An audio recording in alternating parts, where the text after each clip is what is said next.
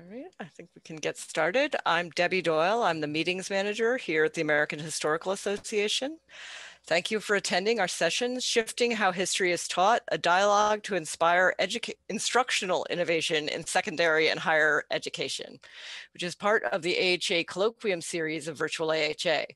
We're excited to have you join us and are looking forward to a productive discussion. I would like to thank our generous sponsors, the National Endowment for the Humanities, the Stanton Foundation, the History Channel, and Oxford University Press. You can support virtual AHA and other AHA activities by joining the AHA, or if you're already a member, making a donation today. We'll post links with details in the chat. A few logistical things to cover before we start the webinar. By registering for or participating in AHA webinars, participants and panelists agree to abide by the AHA's Code of Professional Conduct. Please use the Q&A function to submit questions to the presenters. We hope to address all relevant questions, but also need to be mindful of the time, so we may paraphrase or combine questions. If you'd like to be a part of the conversation on social media, remember to use the virtual AHA, AHA hashtag. And finally, a quick reminder that this webinar is being recorded and we will share the recording on our YouTube channel sometime after the session. Now I'll turn things over to Craig Perrier from Fairfax County Public Schools, who will be chairing the session. Thank you. Thank you very much, Debbie, and thank you to everybody who is joining us today. Uh, we have a great panel. We're excited to be here. We're excited to have you here. Um, we we, uh, we want to get to know who who's in the room with us. We want to uh, also take take a moment to introduce ourselves. So you get to know who we are to open up uh, today's presentation. So uh, a poll be, will be shared with you shortly, uh, so you can identify what your your best role is, what best identifies your role. So we have an idea of who you are. We will have a few other interactive um, you know, possibilities during this, this presentation and for after the presentation as well. So stay tuned, stay tuned for those. Um, so let's, let's just take a moment to, uh, to introduce ourselves and then we will transition into kind of a quick tour of a Google site we have we have prepared for today's presentation so you can take it with you and all the excitement you have you can share with your friends and your colleagues and strangers and whoever you want to share it with. It's, it's going to be great stuff. So uh, I'll, I'll, just start it off. My name is Craig Perrier. I am currently the uh, in curriculum instruction specialist for social sciences and history in Fairfax County Public Schools. Uh, Fairfax uh, County is one of the largest counties in, in the United States, the 10th largest. And we roughly have 500, between 500 and 550 high school social studies teachers. So a lot of what I'm sharing with you today will be um, uh, experiences they've had and they've shared, and uh, it's a combination of, of those combined experiences. Um, Trevor, do you want to take a moment to introduce yourself? Thanks, Craig. Uh, I'm Trevor Getz. I'm a professor of history at San Francisco State University. Uh, I've taught the uh, World History Survey many times, uh, but I'm also a content lead, one of the content developers for the OER project, which includes the World History Project and the Big History Project. That's given me an opportunity to work with a lot of high school teachers, uh, many of whom have been teaching me. And I'm going to be talking today, hopefully, partly about vertical integration uh, across sort of the, the, the, the, 10th through 14th grades. Uh, Jennifer? I almost did the talking without unmuting myself thing. Uh, I'm Jennifer Hart. I'm an associate professor in the history department at Wayne State University. And um, among the various hats I wear, the ones most relevant today are that I'm the coordinator for the History Communication Initiative in our department, um, the chair of the General Education Oversight Committee at Wayne State, and the North American president for the International Society for the Scholarship on Teaching and Learning in History. And I'll be talking about kind of public facing uh, scholarship in the classroom. Uh, Joseph, I guess. Thanks, Jennifer. Um, hi, everyone. I'm Joe Sebestyen. Uh, I am currently an assistant principal at Hampton Township School District at a high school. Uh, it's a basically medium-sized suburban school district just north of Pittsburgh, Pennsylvania. Uh, I used to be a social studies teacher. I consider myself still in, involved in social studies. Uh, and um, I used to be, at, my, my longest tenure was with Fairfax County Schools. That's how I loosely know Craig. uh, we've developed a good relationship over the years, kind of thrown around some ideas. So I'll be talking about uh, teaching evaluation of sourcing in documents. Uh, looking forward to speaking on that later. Back to you, Craig. All right, thank you everybody for the introduction. I, I failed to, to give a quick summary of what I, all my presentation or my part of, the, of today's panel will be on. I'm gonna take a little deep dive into using visible thinking routines in history classes. So more to come on that. All right, we got some great results from our from the poll. We have, I think, almost half of us, half the participants are from our, our higher ed professors. What you're going to experience today, we think, will will transcend K to 16, you know, education. So uh, let's transition into our Google site. So i am going to post a Google site again. If you haven't accessed it yet, please do. And I'm going to start sharing my screen to give you a quick tour of what you see on a, on a very simple but we hope useful Google site for today's presentation. All right. So um, what you're seeing is uh, the home page here. And I'm going to scroll down just to give you a look at, a quick look at uh, what's on this page. You have our Twitter information, um, but I want to I want to uh, take a moment to identify what our time together will look like. So we're in this first segment of 15 minutes of an overview and Google site tour. That's where we are now. And then we've kind of just perfectly um, you know, section it off into 15 minute increments. So every presentation will be 15 minutes. I'll be the timekeeper just to keep people uh, aware of how much time they have left. And then we have um, time for an open discussion. We'll, we'll, we'll, try to answer any, any questions you have the best we can. More on that to come on how, if we don't get to your question. Um, and then some possible ideas for next steps. Uh, this is our belief about what our panel, um, you know, the goal of our panel today uh, I'll give you a moment to, to look through that and, and why and read through that. Why I'm doing that, I wanted to emphasize really that that last that last paragraph. Um, we, we have a shared belief that timing is right for for impacting history education, and to do that it needs to be strategic. You know, needs to be intentional. Um, and and one of the qualities of that is having the having a the instructor, the facilitator, the teacher to embrace a, a design approach to, to instruction, right? So that you're designing experience and giving time for students to, to, to do something, to engage in some activity. Um, so more on that in each, uh, each of the uh, individual uh, presentations as we scroll up to what is really gonna be um, the bulk, I think, of, of, where you'll be active in our, in our Google site. This is our presentation toolkit site. So everything you see in here today that we've presented is in one of these four toolkits right? Each, each presentation has one. Um, unless otherwise noted, um, you should feel free to share anything in there, um, you know, modify it as you see fit. If there's limitations to that, I ask the panelists to, to please uh, express that. But uh, from my end, you, will be able to use anything um, in the visible thinking routines for your, for your purposes, just to modify them uh, and use and share them out. And then lastly here, there's a, a, a tab called networking. We're, we're excited about this as way to stay connected after, you know, after the presentation. So what we've done there is we've, we've provided a, a Padlet, a real simple tool, tech tool for you to use. And if you click on that, uh, as it comes up here, you'll notice a pink plus button here. If you click on that pink plus button, you'll be you'll be able to add your information. You can see some people have already. Oh, we have so we have some present we have our uh, people are doing it now, so you get the idea. So if you are on this uh, on this Padlet, we will do a follow up and try to stay networked uh, together for post um, post presentation and, and, create a kind of a small little network uh, uh, using uh, using the Padlet option. It's totally optional. You don't have to use it, but it has our information as well on there for you to use. Great. So um, I think everyone, I think we've covered that the Google site. Um, Trevor, Jennifer, or Joe, any comments before we get into our first presentation? Okay, wonderful. So um, I'm going to hand it over to Trevor. And Trevor, I'll, you know, maybe we'll give you an extra two minutes here with the additional time, but uh, it's all you. Thanks, Craig. It may take me two minutes to uh, figure out how to get all my tech going. Nope, managed to do it.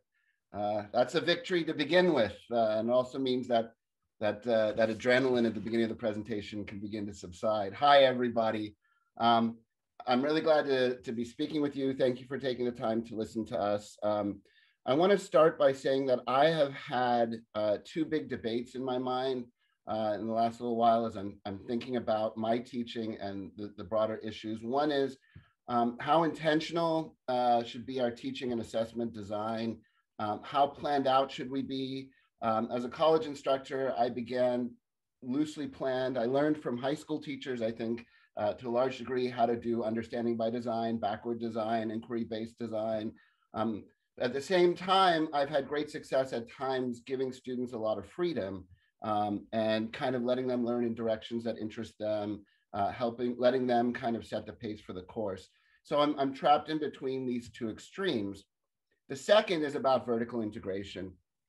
And quite simply, um, I see a lot of students coming through high school world history surveys in my case, and then college world history surveys, and really thinking about how we can use that as an opportunity for students to uh, be able to move through, for students to be able to uh, develop and strengthen their skills uh, over time. So both of those are going to be addressed a little bit today as I talk about scale switching, which I think is an underappreciated skill for study and for use in, in, in both high school and college classes. So um, what do I mean by scale switching? Um, I've actually been working with Craig a little bit on this, but you know, uh, scale is both time and space. Scale switching is really a disciplinary practice within history that we all use, where we move between collect, analyze, evaluate, integrate evidence from different scales in order to to, to make meaning. So we do it. We do it, I think, uh, most often as historians and as people who are educated in history, we do it quite naturally. Um, and uh, as we go through, I'm going to try to identify some of the important texts about teaching scale switching and just pull from them. Um, many cases I'm pulling from AHA presidents as it happens. Um, but here I'm, I'm pull, pulling from uh, an article that is more focused on sort of the question of disciplinary skills in the world history classroom as it happens, and asking the question, um, what are the advantages of scale switching? Um, we learn how to generalize from specific evidence. Uh, we learn how to evaluate and connect human agency on the one hand and bigger global structures on the other hand. We learn how to contextualize local events within the wider trends in which they're set. And as I said, you know, we all we all do this. I think everybody here knows how to do this. Now, um, when I was a grad student, I was affected by reading Thomas Holt's AHA presidential address in 1994, um, which looks at the levels problem, if you will, in history. And what Holt says, and what I think stuck with me, is that um, when we tell macro level histories without scale switching, we end up um, not focusing on, not learning from, not seeing that history is about human experience. Um, we can identify patterns perhaps, but they're rendered somewhat meaningless by missing out on these essential uh, kinds of human experiences, local culture making, action um, that, that, are, that are really in, in many ways the subject that we want to get at. On the other hand, when we only tell local stories without understanding the global or larger contexts, um, we don't necessarily learn lessons that can render this, this, this behavior knowable within the sort of wider framework of, of, of humanity. And, and the result in both cases is something that is, I think, uh, sort of uh, inferior to when we do when we do scale switch. So, um, so we should we should be, I think, intentional about our scale switching. We should also be intentional about how we teach scale switching. So here, here's Pat Manning's 2017 uh, uh, article on the theme of the of the annual meeting, um, the HA annual meeting, in which he said, "Look, we we all kind of know what scale is, um, but we don't actually fully establish. With we don't have a shared vocabulary necessarily. We all periodize. We all talk about the classical age or whatever." Um, but we leave it pretty amorphous. And the same is true when we say, oh, local and regional and global. Um, we should be intentional about the way that we study these things um, we should maybe be a bit more explicit about it. And this turns out to be uh, important because of what I think we identify as the problem for our students. Um, and here's how I want to identify that problem. So, first of all, um, we find that students tend to think that periodization and scale are intrinsic, right?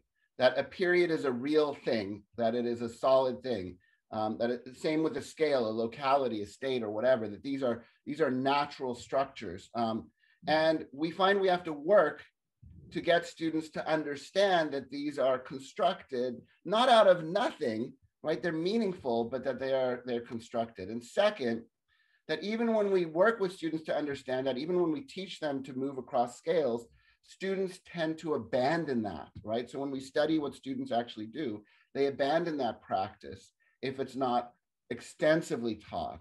Um, and finally, um, when students do use small bits of local evidence, for example, to answer broader questions, um, they tend to do so less critically than we would in our practice, right? They tend to say, I know that X was true globally because I found a source that said that this person in this place, uh, you know, was X. Um, and we need to help them to understand the significance across those scales. So what I've been working on is I've been working on how we can uh, move towards um, uh, developing, I think, a broader framework for, for teaching and learning and scale switching. Um, and perhaps you'll find it a little bit too uh, directed, um, but I want to kind of prepare for you. I also don't have enough time to talk today really necessarily about classroom moves, um, although I'll talk about that a little bit. Um, but I do want to save time to talk about vertical integration between high school and college. So here's my little schematic, if you will, right? And you could do this backwards, uh, I would argue, um, the other way. But um, I have six, I think, skills here that I think students should develop working with scale switching. I'm not going to read them here because I'm going to go into each one uh, in depth, but they begin with reflection and end really with sort of application and demonstration and something solid. Um, but as I said, you could go kind of backwards. So let's start with the, the first one. So the first one is that both at high school and college, students need to understand that they themselves are embedded within multiple scales of time and place. Um, and I'm going to let Yohuru Williams talk about this a little bit because when I, I saw this video, I thought he did so so well, and you can get a break from my voice in that way. So uh, here's Yohuru Williams talking about the multiple meanings of scale. And in order to do that, I want to talk about the multiple meanings of scale. I want to talk about scale, um, not just in terms of John Lewis, but all the people that we'll talk about today, in terms of how we experience the past as individuals, how we think about how the past influences our family, our community, our nation, and our world. And in the process, how we invite young people to also step into the role of looking at scale in that degree. But I want to begin with this idea of scale as perspective. And when we talk about it in that sense, we are all, in some sense, products of our own biography. What? Okay, so someone just told me that they can't hear, and I, I hope that wasn't universal. But what what Yohuru Williams is saying, and I do urge you to go and watch this keynote address, which is available online. Um, what Yohuru Williams is saying is, in fact, that um, uh, we are all products of histories that are operating on multiple scales. And he starts that by talking about John Williams, um, but then he moves in and, and talks about our students. And this is my first point that we need to help our students reflect on themselves as nested in this sort of uh, broader sense of scales. And for me, that's the starting point. My second argument then is that um, students should appreciate that, that, that scale is something that historians and others negotiate. This is an activity from the Big History Project. It's one that I particularly like. It's aimed at, at young students, really, uh, lower high school. Um, it's one that I know the Big History Project folks are working on changing to some degree because uh, it doesn't include some Islamic scholars that should fit in there. And we're going to talk about that issue later. But um, what it does is it helps students see that even understandings of the universe, the size of the universe, and you know where we are within this sort of biggest scale thing have changed over time, have been socially negotiated, have been influenced by changing science, um, these sorts of things. So I think denaturalizing each scale helps a little bit. The third scale, and the one that I have to admit I'm sort of most personally obsessed with, is um, the idea of using sources, using sources at smaller scales to help answer big questions, right? To bring them together. This is from the World History Project, some stuff that I worked on myself. Um, and it includes, so we, we wanted students to understand for the most recent past uh, about globalization, um, how it has changed lives um, and how it has changed lives differently in different places and how different people have reacted to them. And so I have two pieces of evidence that we put together here. One is um, uh, individual stories uh, uh, of two Ugandan migrants that are part of these stories of, of individual migrants that we have, one of whom, uh, for whom going to work in the UAE was very positive, positive part of, of, of, of, globalization, the other more negative. Um, and then the second one is a broader scale look at global income distribution. I'm gonna have to go really much faster here, Craig. Sorry, I'm gonna do it.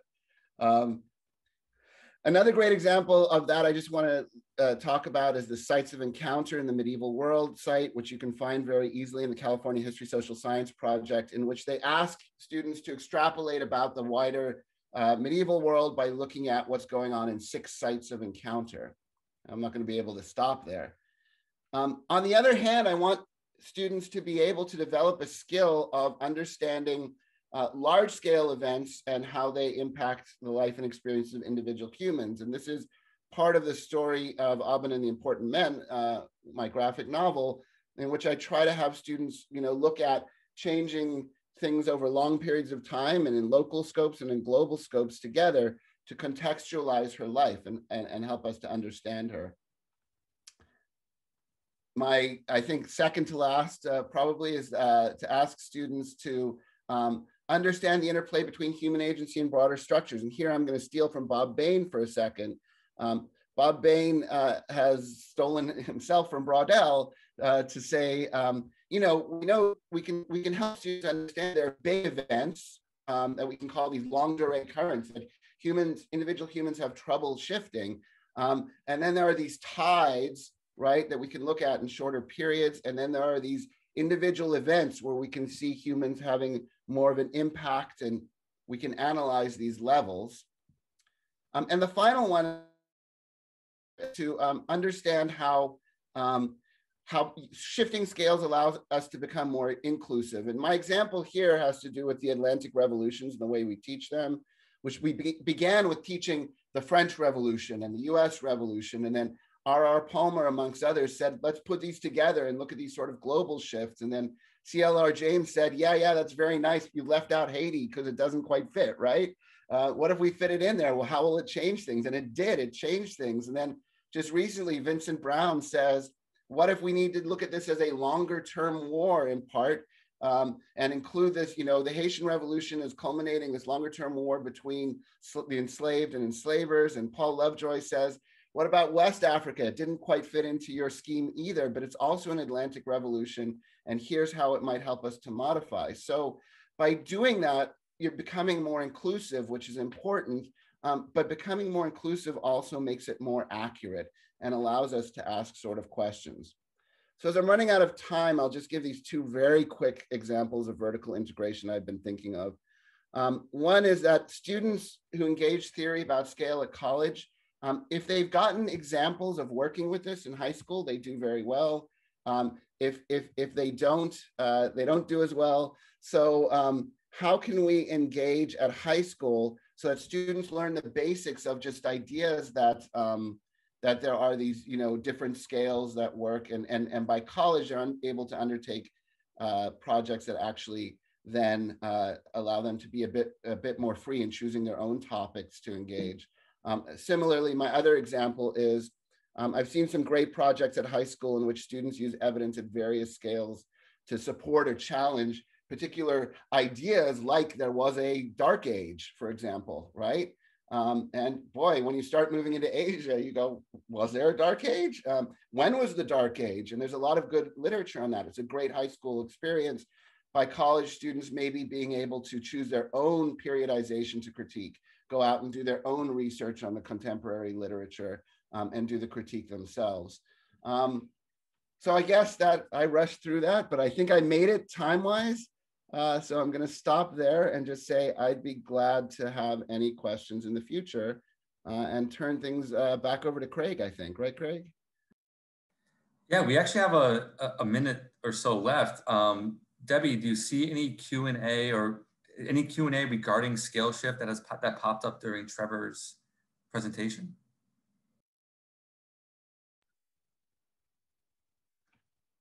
I, I don't think anything came up. Uh, oh, well, I can't see Q&A, so I shouldn't answer. That's okay. No, that's fine. We'll, we'll, um, we'll come back. Victor said none, but we, we okay, great. So no, oh, Trevor, thanks for, thanks for starting us off. And I'm going to use um, I started my time here to um, share kind of a bridge story. Uh, Trevor is Trevor is going to be our uh, the keynote speaker at an upcoming um, six district school district um, consortium in Virginia uh, called just called the Virginia Inquiry Consortium. It's uh, six school districts, of which Fairfax is one of them. Um, disciplinary, uh, the disciplinary um, um, practice of scale shifting is going to be the unifying approach for all our teachers as they go and design uh, inquiries using the C3 inquiry, inquiry model. I'm not sure if folks know that, but um, that is, uh, that's a really intentional practice. And, and, the key word here is intentional for us to help uh, impact and change how world history is taught.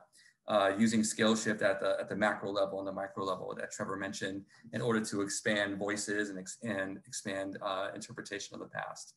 So that's, that's, that's coming up in the next couple months. And you know, next year we'll have our inquiries published for anyone to anyone to use. So if you're part of our Padlet, you'll, you'll get that update from us as, far, as part of our network.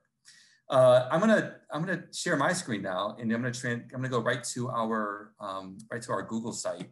Um, I have uh, and in, into our toolkit so that I can reference things right there. And I just want to give you give folks a heads up that you're going to have time sometime today just to do some exploration on visible thinking. So first thing, I just want to go to the visible thinking um, uh, toolkit here.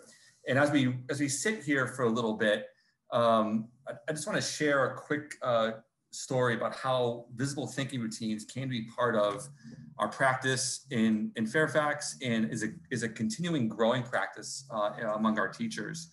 So it's roughly about three years ago, I would say, that um, visible thinking routines be, became a really intentional part of our professional learning for, for teachers, of the resources we created. And then teachers either already had that knowledge or many teachers didn't and then took off and started to really uh, incorporate visible thinking routines into their work. So a quick, a quick um, two things really come as far as a foundation for using visible thinking routines. And I'll define those in a second. But two kind of underlying thoughts are, one is um, that uh, learning is a product of thinking, right?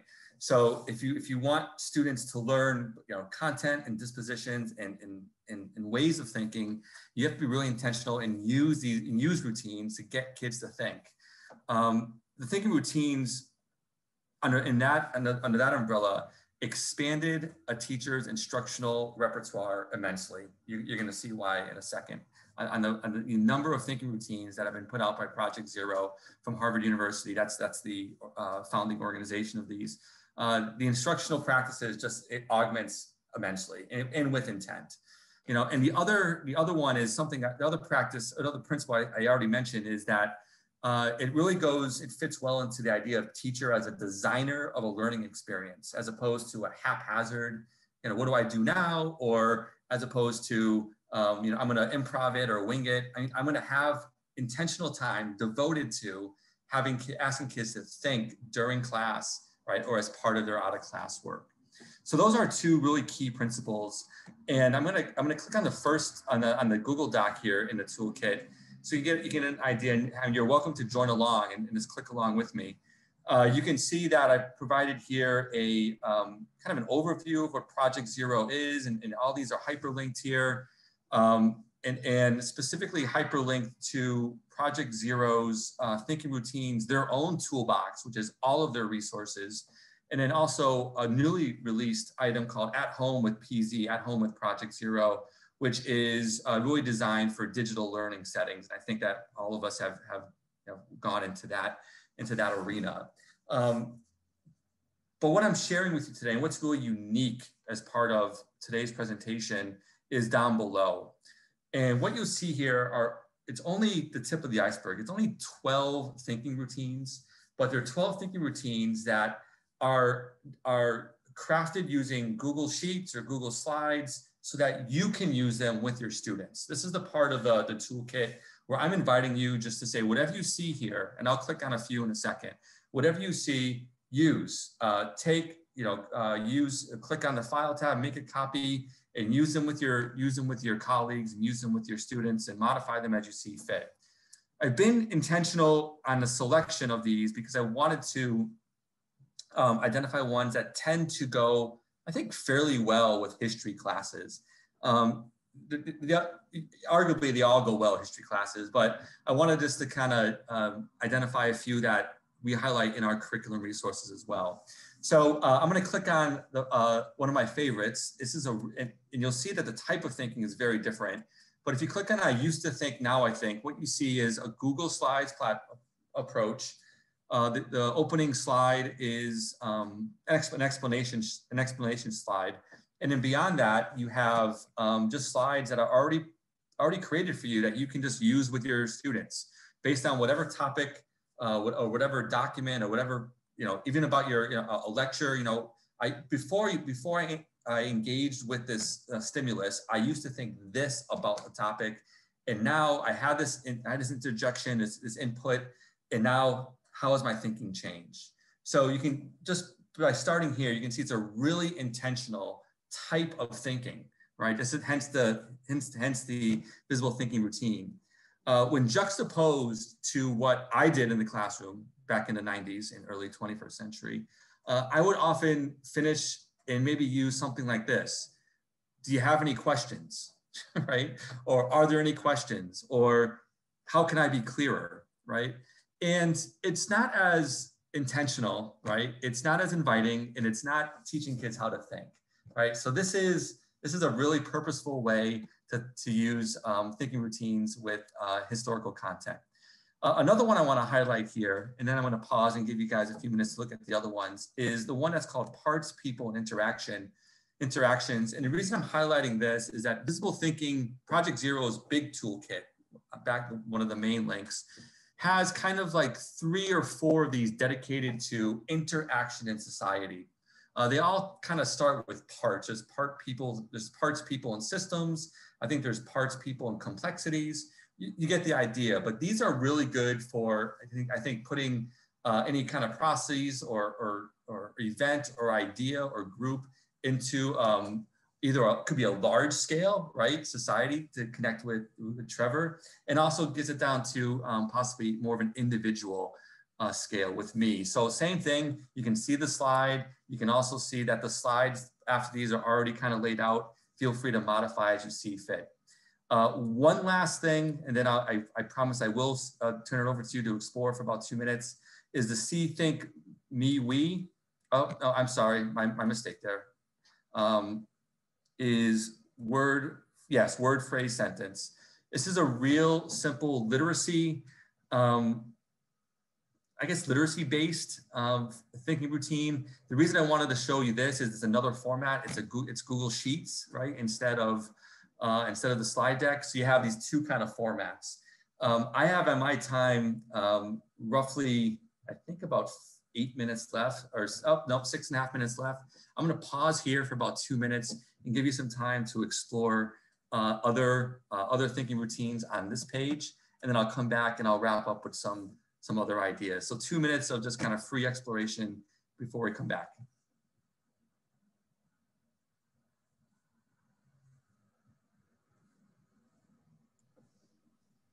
These are awesome. I just shared them with our OTL. Oh, nice. Thanks. I don't want to interrupt your silent time, but I'm just, I mean, I'm thinking about these in terms of also, you know, kind of progressions from high school to college also.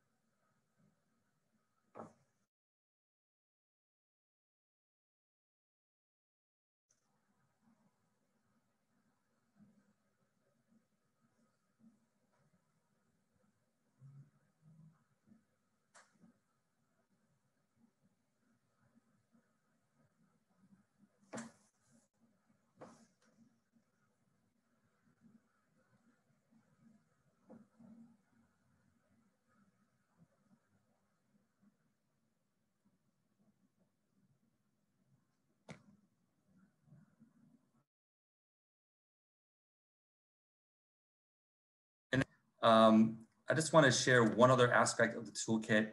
I've, I've gathered some videos about, about Project Zero and about visible thinking routines. This is really great to kind of orient yourself with um, uh, what Project Zero is. On this first one, what, vis what visible thinking is, you have um, Ron Ritchhart, who is really identified as one of the main founders of visible thinking routines.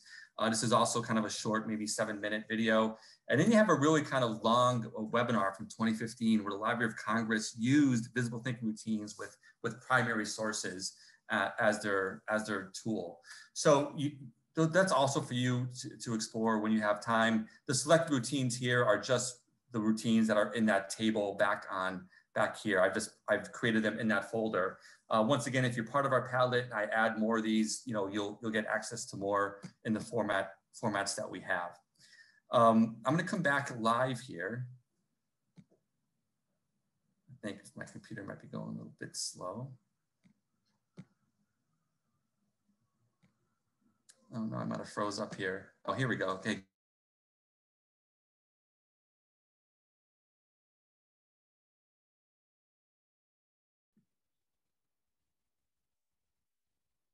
Craig, did we lose you?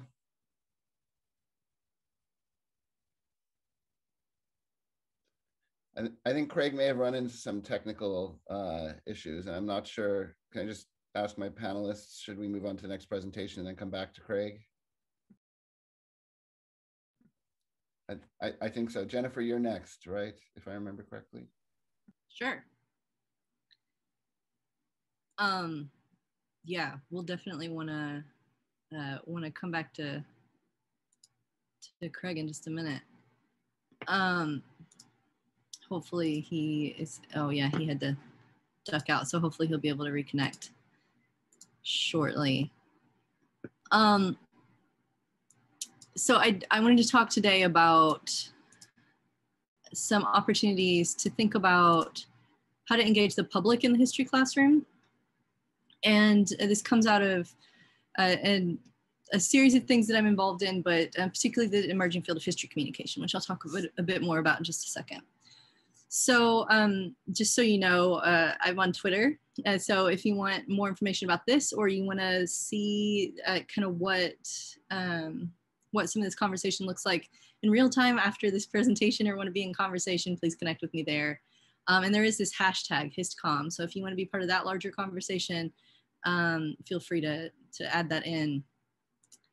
Um, so when we think about public uh, public engagement in the classroom, or we think about kind of the public and scholarship, there's a range of ways, a range of kind of categories and and descriptions of what that looks like, including scholarly communication, public scholarship, engaged scholarship, public humanities, public history, applied history, um, which is one of my preferences, um, digital humanities, which overlaps several of these categories and informs them in many ways. Um, these are all slightly different, um, slightly different things, but they all share this kind of commitment to engaging the public in various ways in scholarship, whether that is um, whether that is translating scholarship for a general public, producing scholarship intentionally for a public, um, you know, using the kinds of um, the kinds of resources we have to, and apply as historians to apply them to public pro problems um, or using to, you know technologies from other sorts of fields like the like the digital um, and applying it to historical analysis in new ways. Um, and so you know these again these slides as we've mentioned before will be up on the google site um, so you can you can read this in more detail. I know it's a lot of text here. Oh and good craig's back. We'll we'll we'll circle back. um, so this uh, my engagement with a lot of this comes in part from digital humanities, but also from this emerging field of history communication. And so this is a new field that um, that brings together historians and people interested in history um, from other fields around the idea that uh, we we can share, we can and should share historical knowledge with non-experts. And the way that we do that is changing in part because of the various kinds of digital resources available to us. And that in order to do that appropriately, we need to be intentional and innovative and skilled about the way that we communicate with audiences through various kinds of media. and, and this notion of history communication is inspired in large part by science communication. And it sits in this kind of um, sometimes uh, uneasy place between the notion of history in public and public history um, and, and seeks to kind of maybe um, be a bridge in certain in certain ways between these different ways of thinking about what public engagement looks like. So public history is a, is a kind of often um, bracketed fields that, that we associate with like museum museum work and, and other sorts of things, but is obviously much broader than that. And then kind of history in public, where we think maybe about, you know, things like the History Channel or um, or history documentaries or other sorts of things.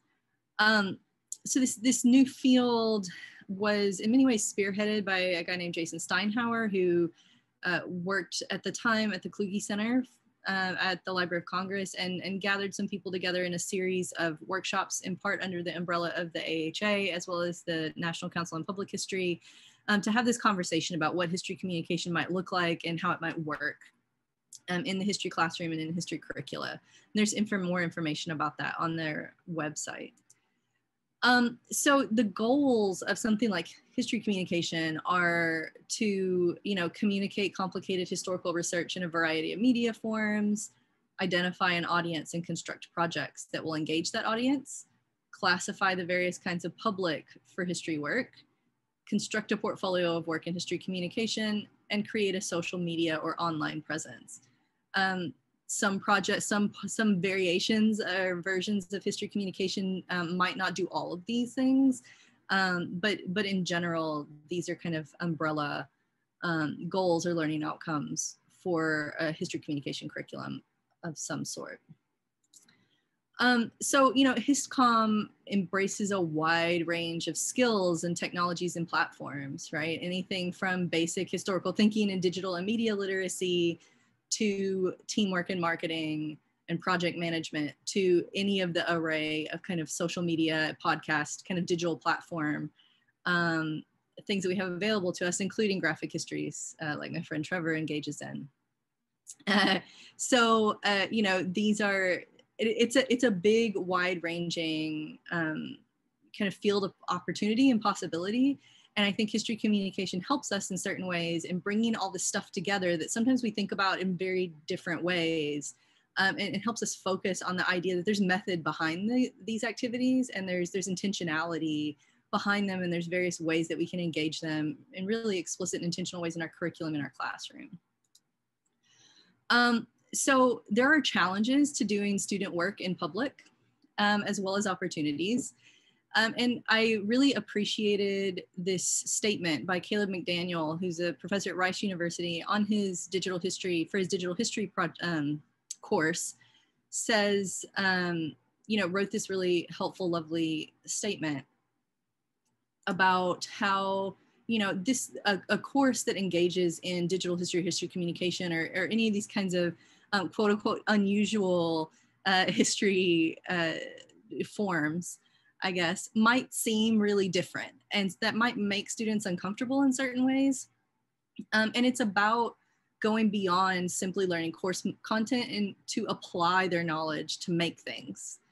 And um, sometimes that's really challenging for students, uh, especially when you're when you're pushing them to think beyond an essay, right? So there's a lot of conversations about essays now, and I think a lot of us who are part of those conversations know that there's there's a lot of student anxiety around um, you know demonstrating knowledge outside of, of a conventional essay form though i think our colleagues in k through 12 history and k through 12 education are way ahead of um, those of us in university education in that. Um, so this requires students to take responsibility for the final product um, as well as kind of what we produce in the class. Um, they have to attain technical skills. Sometimes they have to do you know some work themselves. They have to be okay with diy moments. They have to um, understand that not, you're never working alone. You're always part of a team. People aren't co- competitors. They're collaborators right? Um, and that this work would be done in public. Having um, having an audience and somebody that's not just the instructor is a powerful motivator and sometimes helps students think in really profoundly different ways about what they're doing and its application, right? So particularly right now, we're having all these conversations about the, the value of, of history education and, and what it means um, what it means to to students and, and why people should you know major in history for example right? And why universities should invest in, in history departments and and other sorts of things. I this this idea that, that there is an audience beyond your instructor there's an audience beyond just you as an as a student or other classmates in your in your class in your course there are other people and that they as students can be part of that process of like having a public conversation about history an informed public conversation about history that has real implications in the present. Um, so what i what i particularly love about this statement is that all of the things in the course that they will be doing that seem like challenges aren't actually new that they seem unfamiliar in a humanities course because we often in the humanities, uh, you know, emphasize individual and private reading. Um, but they are things that they often do in STEM courses, right? This is not in any way unusual for them in other kinds of thing in other kinds of courses that they're taking. Um, so, you know, this is this is a powerful way to get students to think very differently again about the value of history and its its utility on a regular basis to kind of upend some of those assumptions and um, and issues. So um, as part of kind of educating or talking to students about history communication, you have to engage some lessons, right? Um, I don't think, you know, we, we often talk about digital natives and assume that these kinds of projects will be intuitive to students and they'll always know exactly how things work and they um, they'll know how to do it. And, and, you know, there's lots of scholarship that says that that's not necessarily true, that, um, that this doesn't always work as smoothly as we would think. And um, I think, you know, the, the kind of politics of speaking out, the idea that there are controversial topics in history that, um, that the public has very strong opinions about, um, and the importance always of citing your sources and acknowledging the work of other people, particularly when you're doing it in public is is so critical and are, are really um, powerful moments and lessons that we can use these activities to teach students in new ways. Um, because I think, especially for social media projects or projects in the public, they feel that more immediately, right? They know what trolling is. Um, so, you know, there are risks, right? Trolling and doxing is a risk. Student privacy can also be a risk. though student grades don't have to be public, right? Um, and, and there's always the option of allowing students, if they're not comfortable, to do stuff privately and create password protected projects.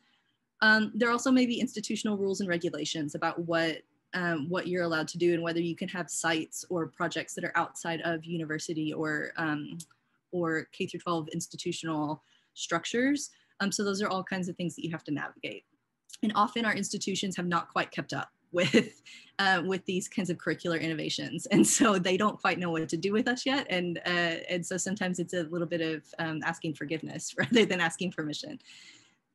Um, so i did want to kind of wrap up by by talking about a couple of things. And and one is the idea of history communication lab that that history doesn't always just take place in the library that um, that the act of doing this, you know, publicly and engaging with the technology ourselves, even if we're not experts, right? Even if that means bringing other people in to help our students navigate learning how to do this, um, that it's really powerful. And you can do that in various ways, right? Teaching through best practice examples, teaching through making, teaching through failure and imperfection and struggle, which is, is not something that historians are very, are very open about often um, you know, decentering the instructor so that students are have a much more powerful role in shaping the conversation and the ultimate product. Um, and also the possibility that this is something that can be done outside of the classroom. That, that this is something that you can absolutely incorporate into your classroom, but it's also something that can be done outside of the classroom as an extracurricular activity or part of summer programming as a way to continue to engage students without it feeling like a class. Um, so there's many pathways here right? Um, individual assignments through um, through uh, traditional history courses is something that I do certainly. Um, history communication e-portfolios.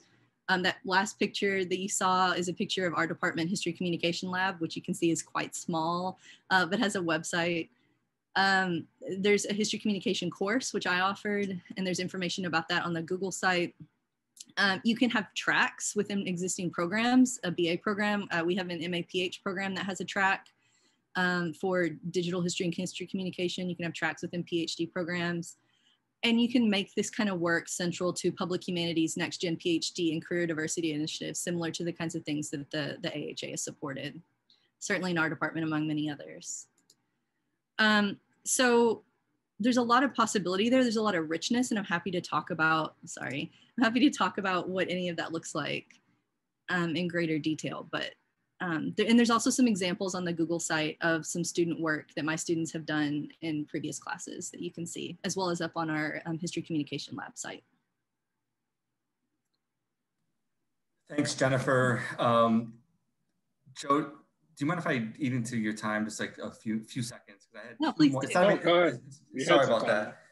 Um, so, sorry, I got bumped off. I don't know what I said. Someone bumped me off. No, I'm just joking. Sorry, sorry, I lost contact, but I just want to finish up with a couple points. And um, the first point is um, put in the chat box right now. There's there's two. Uh, if you're into Twitter, it is a robust educational uh, culture and environment around visible thinking routines. I've linked Ron Ritchhart's uh, website, uh, Twitter Twitter handle, sorry, uh, and I've also used the hashtag visible thinking. That will generate ideas. It'll provide examples uh, beyond what you've seen already uh, from, from, in my toolkit. Uh, and then I want to finish with just kind of a summary of what have I seen change over time using visible think routines in our in our classes. So a couple years back, and this was really informed by some AHA, um, some research. Uh, we I, I with our teachers that the uh, the, the frequency that a uh, universities are asking students to take a history course in college has been decreasing. Um, if you pair that with um, certain states having only maybe two courses you need to take uh, in high school, that, that, that the, there's, there's possibly a even uh, lesser amount of kids taking a formal course in history. Uh, if you combine those, it's quite possible that the last time a student will take, and this is, this is really especially for our K-12 uh, teachers here and administrators, um, the it's quite possible the last time a student will take a formal history course is in high school, right? And that means we should do it right and, and do, or do it better. And part of that doing it better and part of that doing it right is asking kids to construct their understanding and to use and to and to think about how the past impacts impacts the present. And that's really another plug for using visible thinking routines. It helps organize their thinking, organize their speech, organize their discussion. I saw Jennifer asking about uh, kids not willing to talk. Multiple teachers use visible thinking routines as a prep before conversation.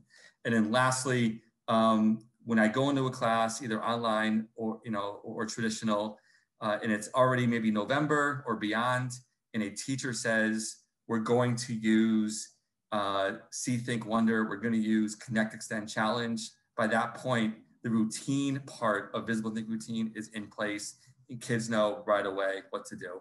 And they're already going to have already begun to shift their thinking in that way. And that is uh, definitely a benefit. So that's what I wanted to end my segment in. Sorry, uh, uh, Jennifer and Joe, thank you both for the additional time. And Joe, handing it off to you. Thank you, Craig. Um, actually, that was a great segue to my presentation because if if it is uh, true that most students last history classes in high school, that can be also very terrifying and exciting because who is the last history teacher that they had? Um, somebody just give me a second here to share my screen. Um, so again, uh, thank you, thank you all for uh, being here and uh, to my panelists. Thank you for your presentations as well. Um, so again, my name is Joe Sebestyen. I'm an assistant principal at a high school in just outside of Pittsburgh. I used to be a social studies teacher uh, Fairfax County.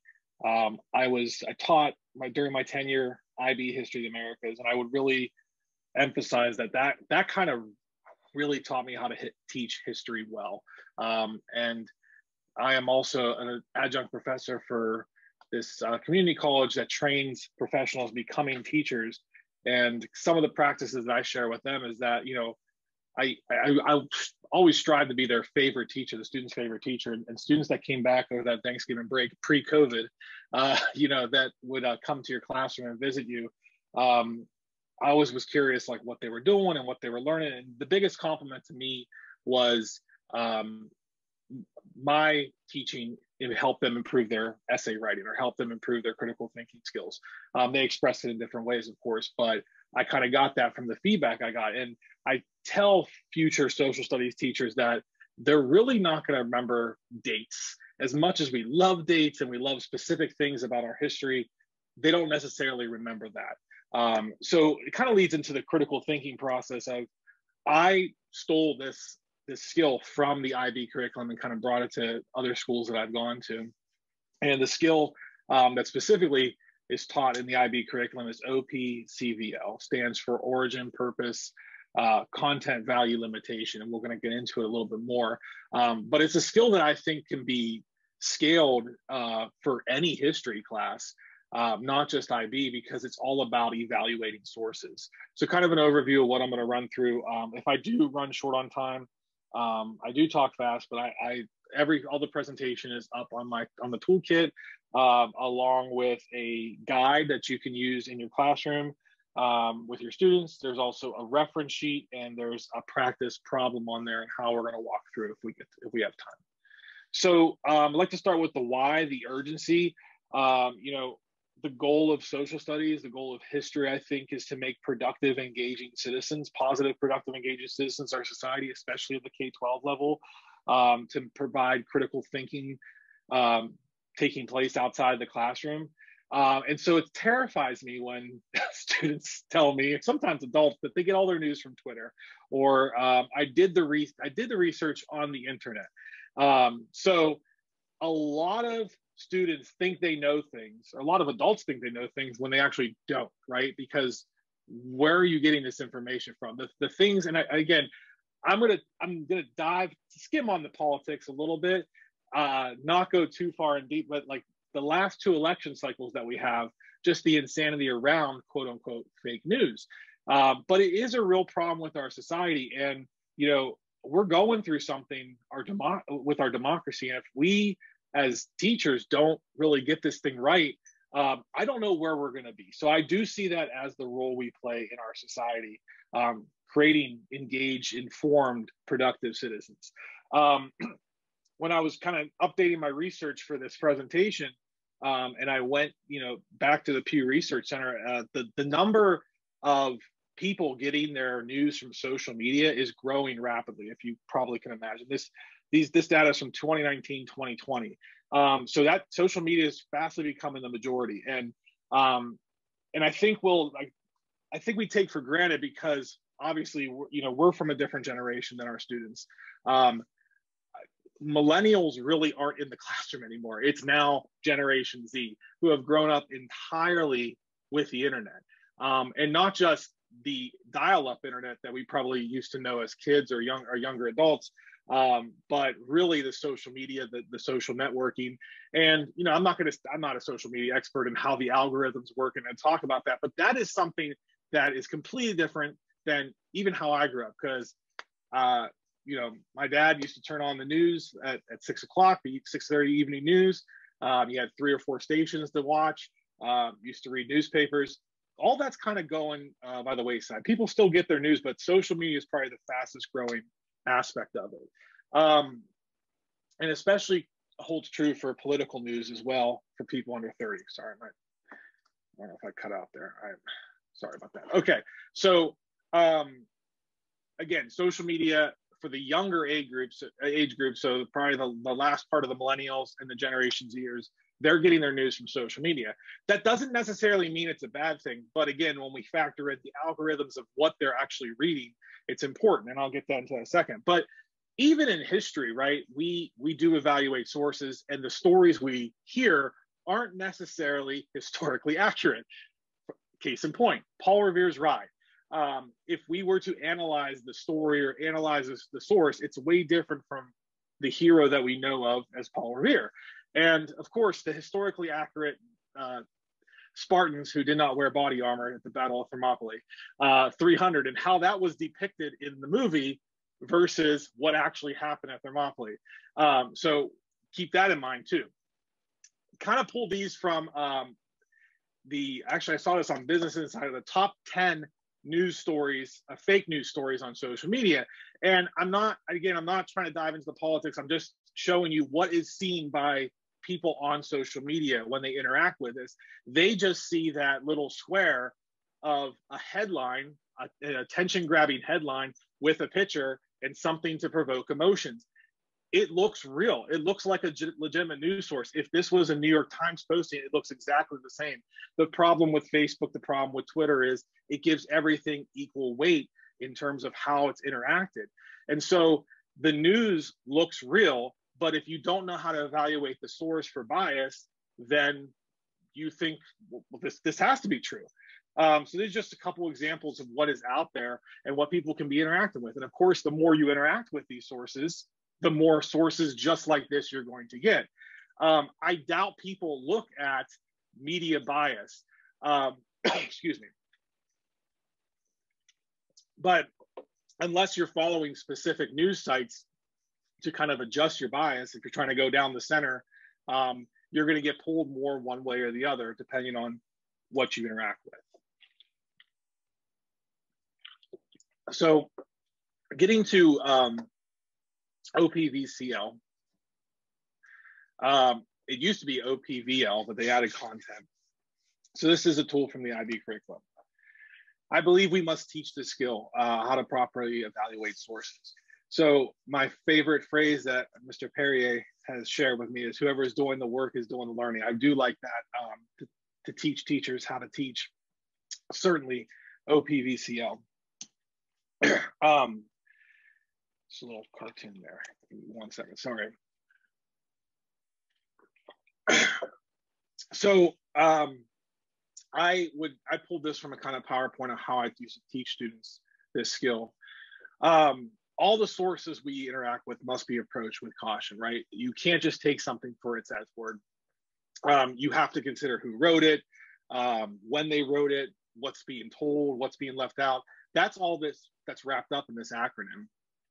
And so it applies across, you know, all points, but definitely applies in the history his, uh, history curriculum, the social studies curriculum. So um, when we're weighing sources, we don't really, you know, primary, secondary is just is second to what we're trying to evaluate. So it, it we can do this with a primary source. We can do this with a secondary source. Um, and it, you'll see in a moment as we do Declaration of Independence. So I would break it down to my students, and I'll just put this up there. You guys can certainly read it, but origin obviously stands for you know what is it? Is it a book? Is it a, is it a document, a speech? Who's the author? When was it written? An example I'll give, um, you know, Mao or Ho Chi Minh have different interpretations of their uh, respective civil conflicts than the American government who supported it. Um, and so we'll, we'll, talk about the origin. This, these, these three first uh, letters are pretty self-explanatory. They can be done pretty quickly. Uh, there we go. Purpose. Um, when, why was this written? What, what was his intended audience? What's the perspective? Um, is the information fact, opinion, or propaganda? So, for example, is this textbook that is written to inform a high school student? or a press conference given to reassure the American public. Uh, so that's the important piece. Then comes content. Now, this was like an added in um, when IB revised their standards, but what information does the source provide? Because if it doesn't provide any useful information, what's the point, right? What's the tone of the source? Um, so that is an important piece as well when considering this this document. And then we kind of go into the deeper part of the skill is that, okay, the value and the limitation. So um, anyone can write a source, just like those uh, sources that I showed you a little earlier. But does the author have any special qualifications? When we taught the um, the IA, the internal assessment from IB, um, and students had to provide their own research to answer a research question that they came up with you know, we made them look into the authors. Like, is this an actual historian? Uh, or are they just someone writing something? Um, so, what are those qualifications? Is it an authentic document um, that hasn't been changed? Um, is it a product of the times? Um, you know, things written now are a lot different from things that were written 100, 200, 300 years ago. Um, so that is all important when looking at a document or a source. And then again, the opposite of value is there's limitation. Um, bias, right? How do you, how do you teach bias? Well, does the account express only one point of view? And we're going to get into bias is not necessarily a bad thing, but that also leads to is there stuff missing in this document? Um, of course, we see great examples if we if we try to break down propaganda from World War II for the Nazis, uh, or from the Axis, or even you know the Allies. Propaganda has a certain bias towards it. It's trying to tell you something. And again, we'll kind of go over this when we're teaching the skill. Being biased does not limit the value of the source. You know, who is it biased towards? Who is it against? What part of the story does it leave out? So it is important to kind of discuss these things. So now I'll get into, I don't know how much time I have left. Sorry, I lost the chat feature here, but um, you know, how do you use this in a classroom? Well, we will start with the Declaration of Independence because it's, thank you, Craig, because it's something everyone usually knows. Uh, you know, the first thing that most K-12 students want to know about is where is that treasure map and does it lead to gold as Nicolas Cage, the predominant historian, right? No, I'm just kidding. has taught us about um, uh, about the Declaration of Independence. Can you still hear me? My my headphones batteries okay. Sorry. Um, so we'll we'll literally go through the Declaration of Independence, breaking it down, um, and we'll ask what type of document it is, when and where it was produced, who produced it. When we look at purpose, um, and so I'm sorry. So how they're answering this, and I'll it, um, the practice for the, sheet that's on the toolkit has this broken down. We want kids to write. We want kids to interact with this. So either they're writing, you know, in class or in COVID times, they're interacting with the Google Doc, or they're or they're doing this remotely. Um, but we want them to write in one or two sentences state the origin, and then the purpose. Um, who was the intended audience? For what purpose was it written? And so then I'll provide them some keywords to possibly use here, as you can see there. and then content in one or two sentences state the major content within the source. So it's just basically those important facts, those details that go along with the author's purpose. When we get to value and limitation, we want them to write longer paragraphs because obviously it's it's going deeper into that higher level thinking. So we want them to write a paragraph explaining the per, the, the value of the document and the limitation. And we want them to hit on a couple values um, within the documents, not just limit it with one. And I'll usually give them when I'm, I'm teaching this, whether it's 12th grade or 9th grade, we'll do we'll do sentence starters. By the end of the year, I, I'm not going to be providing this for them. I want them to kind of graduate, go up and be able to use stuff on their own. But as you can see that this document is valuable because, and it shows this. and then again, same thing for limitation. We want two limitations present in the same sentence starters. So, um, and maybe as a first kind of checkout point of the skill in the first week that I introduce this, I'll have this whole sentence start to fill in the blank. I will scale that back and take that away because I want that I want that historical thinking skills to take over as they uh, really start to analyze and diagnose different sources. So a couple things to leave you with. Uh, this quote by Abraham Lincoln, don't believe everything you read on the internet just because there's a picture with a quote next to it. Obviously not real. And then the trouble with quotes, I this is in one of my history teachers' uh, rooms on the internet, is that you never know how genuine you are. But I will leave you with the facts are stubborn things uh, from John Adams. So I appreciate your time. Um, thank you all, uh, and back to you, Craig. Oh, let me stop sharing the screen. There we go. Thank you, Joe. Thank you, panelists. Um, we all did really well on time. We have it's 310. We have a, we've I've been looking at the comments in the chat. Um, I've lost some when I got bumped out, so I'm gonna have to rely on some of my panelists and maybe Debbie or Victor to make sure we we uh, as we transition to our question our Q and A uh, part of the of today um, that we do get uh, address as many questions as we can. Um, and once again, if you remember, if you, if you uh, there's a question that's not there, if you're on the Padlet, we're going to follow up with you within the week with uh, to, to, get the network going. But um, uh, are there, is there, I'm not sure how to approach this, Debbie, is, is there, or Victor, is there a, a, question and answer that you give us, or is there, is there, I lost them all when I got bumped out, I think. I, I'm only seeing one. I think there's more, there was originally more than one. Okay, great. So if I see the one that's from uh, Joseph Schmidt, um, he starts off with a compliment. These presentations are wonderful. Thank you very much. Thank you, Joe.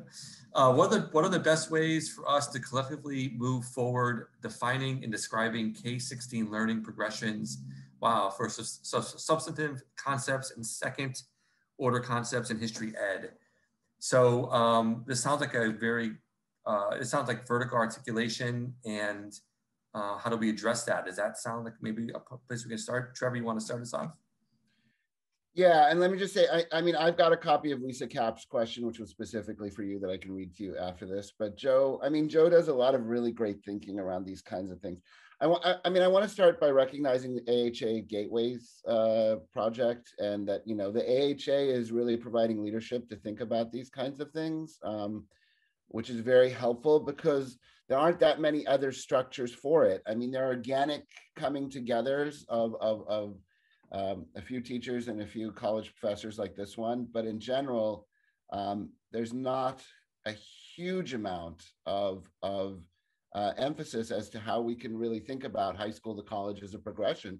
And that's been true over a, a long period of time. Um, I see there's a little thing that popped up that said American Historical Association is going to answer this question live. I'm not sure quite what that means. Does anybody know? No, all right. Well, I'm no. done there. I, I, wanted to point to the Gateways project. That's what I wanted to do. Yeah. And and and I'll if I can. Oh, sorry, Jennifer. Go ahead. Oh no, I was just gonna say. Uh, I mean, this is one of the um, this is one of the big things that we've been talking about in History Sodal.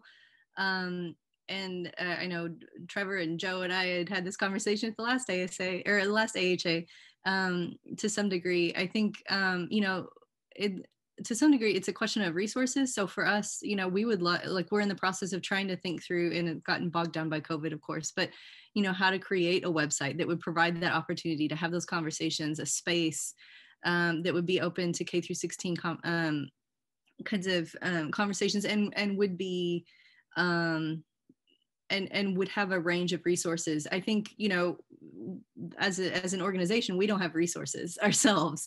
And so being able to fund the website is a challenge right?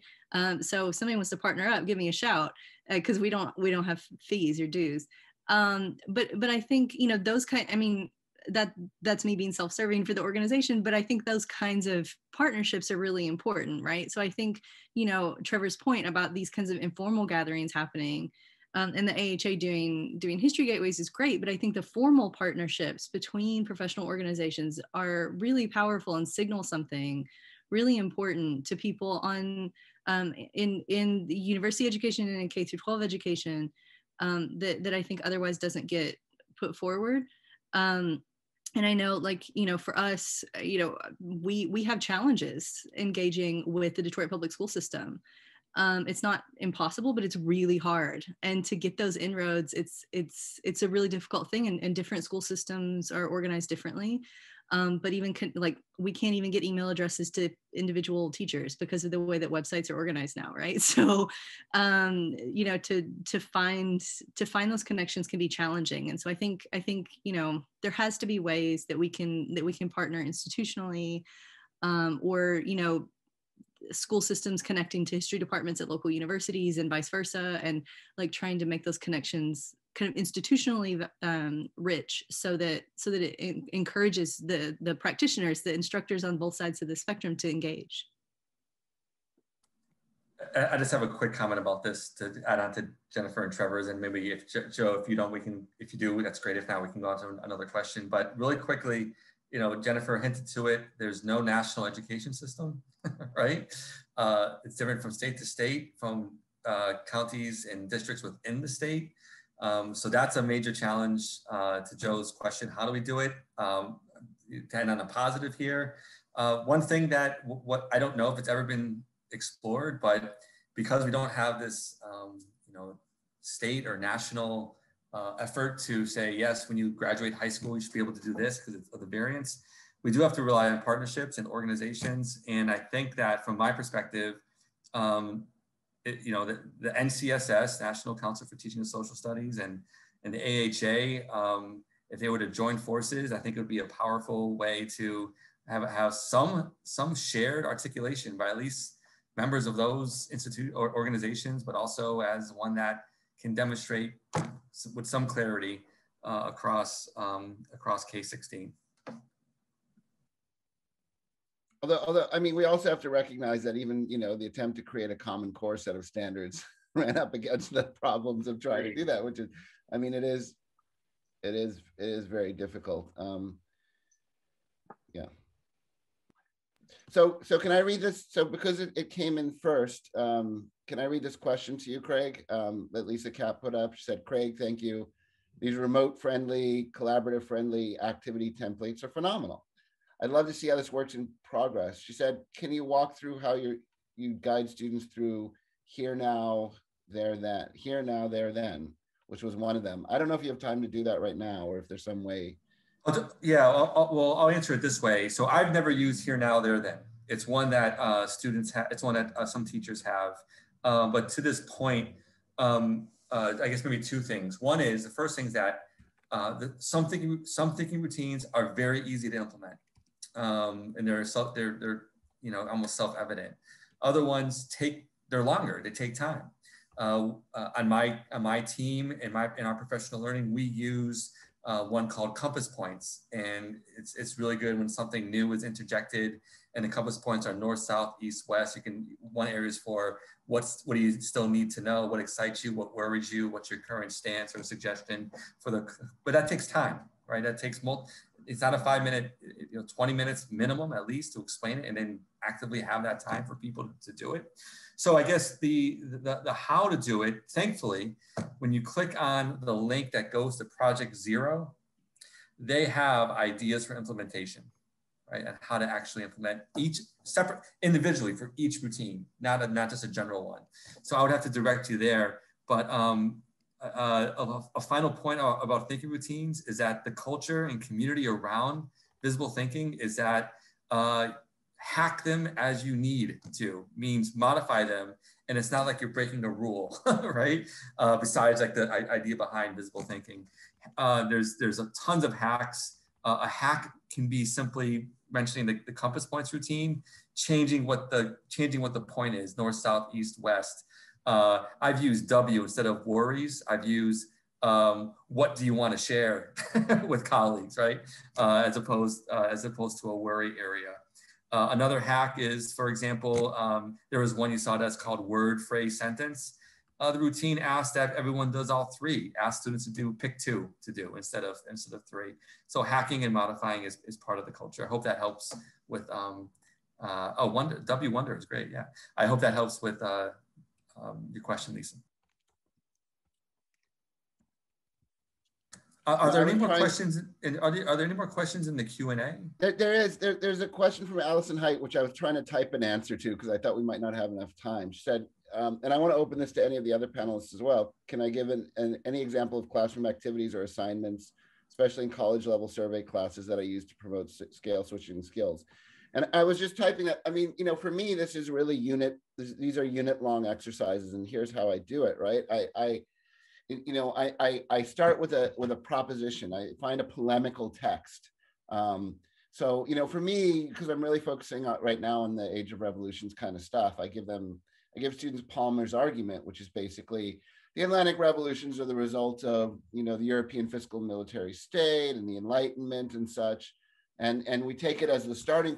And then I, I try to subtly give them lots of stuff that can, they don't even necessarily realize will, will raise questions, such as, um, you know, reading the, the Declaration of Independence of Haiti, um, looking at and studying the Islamic uprisings, especially Usman Dan Fodio and such in West Africa, stuff that doesn't seem to fit in at all. Um, and then we, we go into breakout rooms and I say, fit this into the argument that into Palmer's argument. And of course, you know, so this is college, so it is a little less structured than maybe I should do it right now. Um, but what, what they find is, oh, there's no way to fit that. The Islamic, you know, the Islamic movements in West Africa were totally different.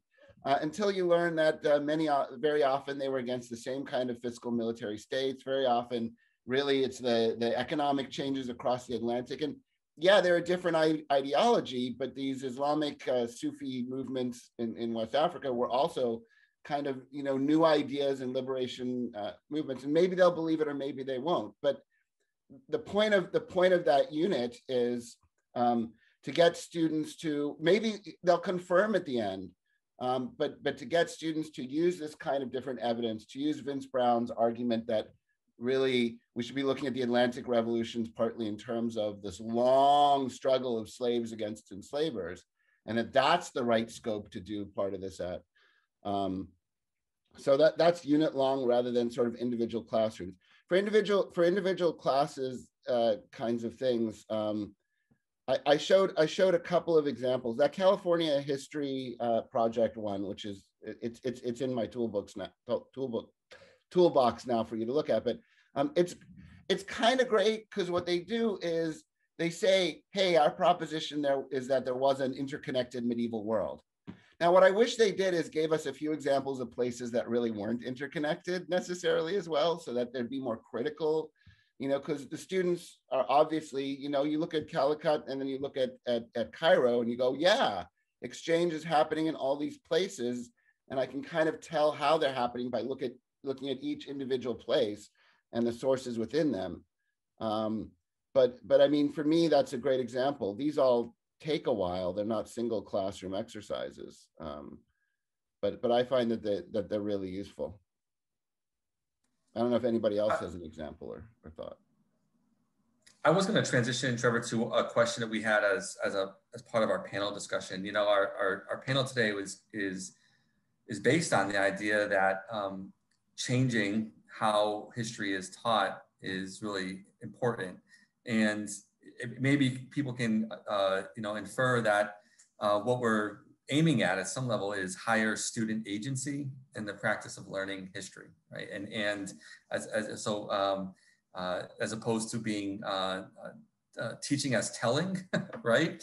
Teaching as a constructivist process where your kids are agents of their of their understanding and, and get feedback and, and get practice. So I'm going to this is for the panel. I'm going to combine kind of two questions we had, so you can take either uh, uh, or, or both, right? And one is um, maybe we can we can you can you can kind of contemplate what are some risks of not changing history education based on what I just mentioned, meaning not changing it from teaching as telling to teaching as a, as an as students being agents and, and being active, uh, and then and then um, in doing so, in, in, making that change, is there any advice that you have from your experience on how to make those changes uh, occur.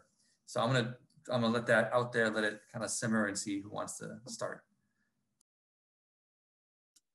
Uh, I mean, I could definitely talk about that. I mean, I I just I it's absolutely critical. I um I think I talk a lot about how sometimes historians are not as transparent as we could be or as other disciplines are about the kinds of methods that we use and the and what we do when we do our work I think there's a sort of mythology around history work. Um, and I, I, think historians get annoyed at that at that mythology and the way it sometimes works against us. But I think sometimes we're also participating in creating it, right? By by not being transparent about method and not um, being transparent about the kinds of skills.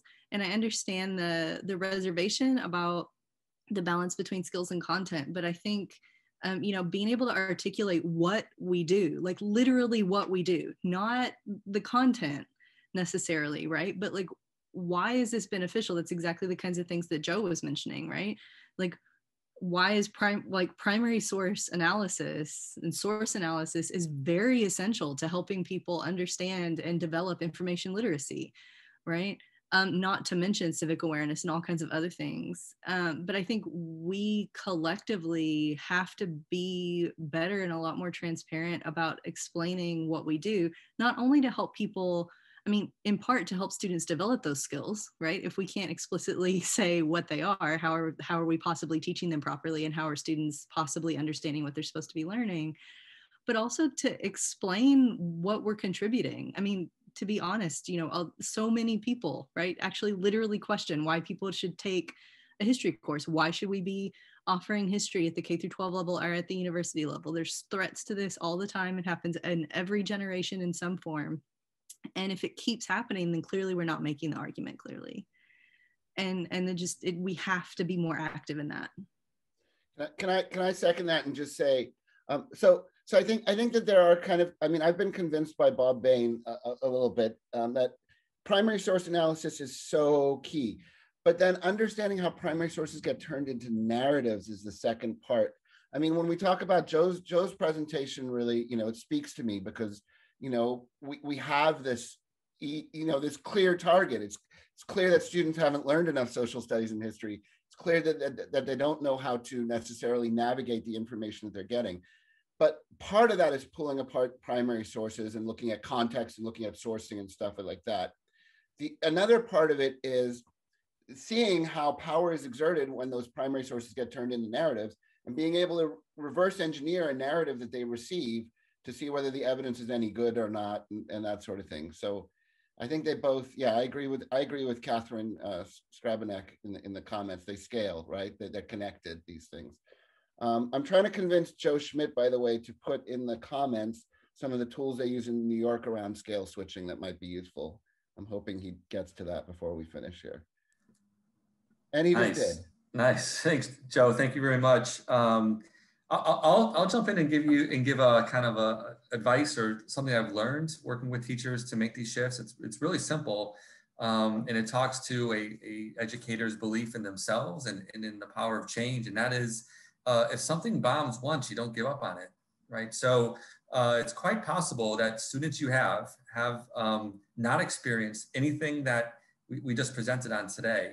That means they have nine to 14 years or, or so of, of believing that history class means you tell me what I need to say back to you on a test and that's what and that's what history teaching is and history it's, it's an exercise in memorization so uh, you might you might find a, a collection of students who are going to have to be kind of re uh, what did Yoda say? You know, learn what unlearn what you've learned or something, right? And you need to relearn what history education is about. So if something doesn't go perfectly the first time, you don't give up on it, right? You continue, right? You explain and, and you and you support student learning in that way. That's that's one thing that I, have I've um, uh, I've seen teachers uh, grow from, right? From that kind of disposition about change. And and for me, it's all teaching the IB curriculum at Fairfax kind of really opened me up to this. It, it's what we ask our students to do. Um, so how you shift from going to telling to like actually teaching students how to learn. Um, I always simplify it as the first the first essay question we had in our curriculum was to what extent did slavery cause the Civil War? Now, there's no right or wrong answer to that question. And that's what, where students who have taken honors classes all of their uh, high school career are baffled by that. What do you mean there's no right answer? No, it's, you could take any position on this question as long as you can prove it with solid evidence and explanation. And, and so watching them engage with it, and to Trevor's point, you have to know multiple perspectives on sources. You have to know some primary sources, secondary sources. You have to know all the primary causes of the Civil War to argue to that point that your wherever stance you take on answering that question is the right one, right? And and this is this should be right because of this.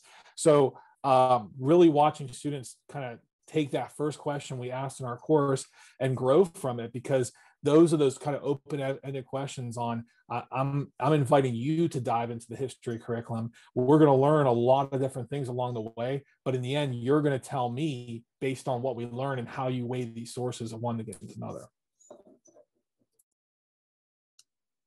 Um, I also th- I also think um, oh yeah we are out of time but uh, I was just gonna say I I think uh, you know related to some of the things that everybody's been saying is um, you know, right now we're in the midst of thinking about what it means to decolonize history and the history curriculum and the kinds of narratives that that we have and the received narratives that we have. And, and i think to do any of the work that we've talked about today we really have to be willing and able to challenge the grand narratives that come in textbooks or that students have received through their through throughout life. Um, and and I think that you know we all have to be part of that project. And and as the AHA picks that up I really hope that they engage and embrace um, conversations with K through 12 partners who are also an incredible part of that process.